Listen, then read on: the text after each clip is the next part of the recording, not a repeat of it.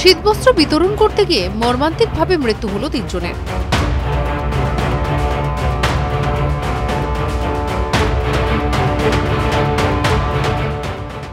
ঘটনাটি ঘটেছে আসানসোলে।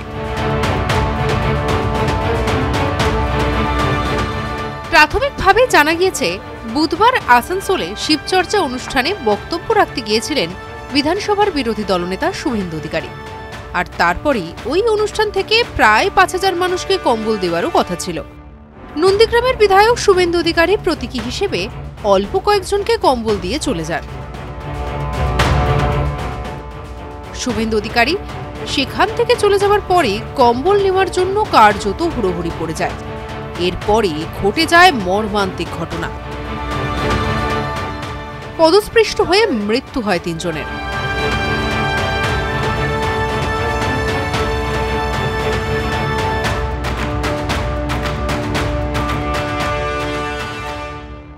প্রসঙ্গত, আসানসোল পুর নিগমের সাতাশ নম্বর ওয়ার্ডের এই অনুষ্ঠানে শুভেন্দু অধিকারী ছাড়াও উপস্থিত ছিলেন ওয়ার্ডের কাউন্সিলর জিতেন্দ্র তিওয়ারির স্ত্রী চৈতালি তিওয়ারি।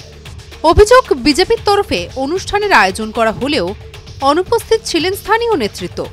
এদিকে, এত বড় অনুষ্ঠানের পুলিশি অনুমতি ছিল না বলেই সূত্রের খবর। যা নিয়ে তীব্র চাঞ্চল্য ছড়িয়ে পড়ে এলাকায়। জানা গিয়েছে এদিনের অনুষ্ঠান থেকে প্রায় পাঁচ হাজার কম্বল বিতরণের কথা ছিল। কিন্তু প্রতীকীভাবে তিন চারটি কম্বল বিলি করে মঞ্চ থেকে নেমে যান শুভেন্দু অধিকারী। দলীয় কার্যালয়ে বৈঠকে চলে যান তিনি। এরপরই কম্বল পাওয়া যাবে না এই আশঙ্কায় হুড়োহুড়ি পড়ে যায়। চরম বিশৃঙ্খলার সৃষ্টি হয়। যার জেরেই পদস্পৃষ্ট হয়ে মৃত্যু হয় অন্তত তিনজনের। মৃতদের মধ্যে রয়েছেন বছর পঁয়তাল্লিশের চাঁদমণি দেবী এবং বছর ষাটের ঝালি বাউরি ও বছর বারোর প্রীতি সিং আহতরা আসানসোল জেলা হাসপাতালে ও বেসরকারি হাসপাতালে ভর্তি রয়েছেন। এই ঘটনার পর থেকেই এলাকায় শুরু হয়েছে রাজনৈতিক চাপানোতর। বিজেপিকে চাপে ফেলতে একের পর এক তোপ দেখেছে রাজ্যের শাসক দল। এই মর্মান্তিক ঘটনার জন্য ঘাসফুল শিবির বিজেপিকেই কাঠগড়ায় তুলেছে। বিরোধী দলনেতাকে দায়ী করেছেন টিএমসির মুখপাত্র কুণাল ঘোষ। কুণাল ঘোষ অভিযোগ করেছেন যে বিজেপি পুলিশের অনুমতি ছাড়াই এই বেআইনি সমাবেশের আয়োজন করেছে।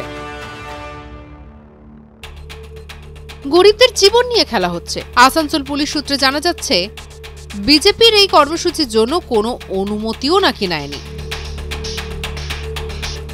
দুর্ঘটনা, মৃত্যু নিশ্চিতভাবে দুঃখজনক।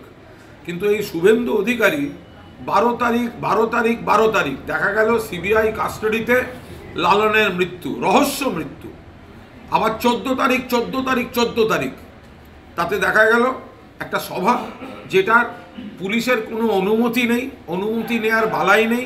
একটা বেআইনি সভা, বিশৃঙ্খলা, গরিব মানুষকে কম্বল দেওয়াভাবে এইসব বলে লোক ডেকে এনে, কোনো সিস্টেম নেই, অরাজকতা অল্প জায়গায়, গরিব মানুষকে নিয়ে ছেলে খেলা করতে গিয়েই পদপিষ্ট করে তিনজনের মৃত্যু, সাতজন তো শুনছি এখনও পর্যন্ত আহত। কুণাল ঘোষ আরও বলেন, বিজেপি দলে লাগাম একজন পাগলের হাতে তুলে দিয়েছে। তারা কি করছে? এই দুর্ঘটনার জন্য শুভেন্দু অধিকারীর ক্ষমা চাওয়া উচিত। কেন তাকে এই দুর্ঘটনার জন্য দায়ী করা হবে না? একটা দায়িত্ব জ্ঞানহীন রাজনীতি করে চলেছে এই শুভেন্দু অধিকারী। আমি বিজেপি নেতাদের বলব, এটা কি হচ্ছে? এটা পাগলের হাতে দেশলাই দিয়েছেন আপনাদের ঘরও জ্বালাবে আর চার পাঁচটাকে তছনছ করছে। এর মানেটা কি? শুভেন্দু উচিত প্রকাশ্যে ক্ষমা চাওয়া আর পুলিশ তদন্ত করে দেখুক যে কারা পুলিশের অনুমতি ছাড়া থানায় চিঠিপত্র না দিয়ে বা অনুমতি না নিয়ে এই ধরনের কাজ করতে গিয়ে এই মৃত্যু ডেকে এনেছে তার জন্য শুভেন্দু কেন দায়ী হবে না? তদন্তকারীরা দেখুন।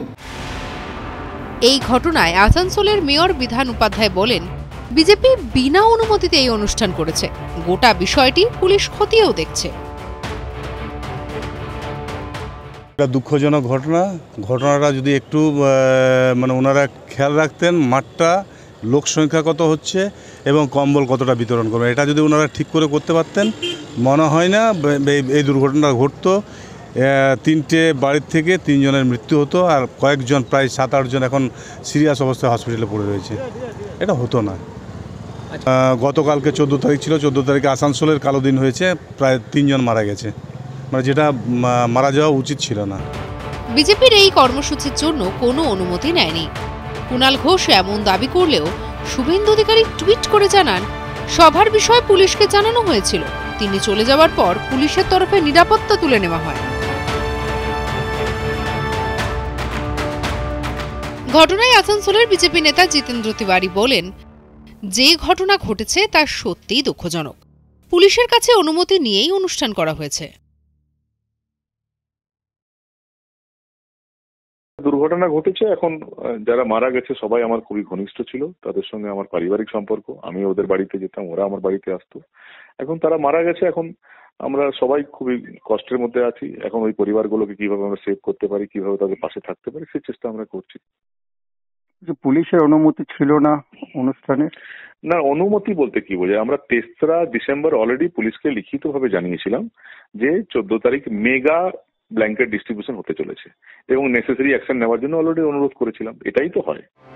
গোটা ঘটনায় শোক প্রকাশ করার পাশাপাশি তিনি দ্রুত, মৃত এবং আহতদের পরিবারের সঙ্গে দেখা করবেন বলেও জানিয়েছেন বিরোধী দলনেতা। বৃহস্পতিবার মৃত ও আহতদের পরিবারের সঙ্গে দেখা করতে যান স্থানীয় তৃণমূল নেতৃত্ব। তবে প্রশ্ন উঠছে এই রকম এক অনুষ্ঠানে কেন পুলিশি অনুমতি নিল না বিজেপি? আর যদি নিয়েও থাকে, তাহলে পুলিশ কোথায় ছিল? এই প্রশ্নই এখন ঘোরাফেরা করছে রাজ্য রাজনীতির অন্দরমহলে। আসানসোল থেকে অনিল গিরির রিপোর্ট, আজ তাক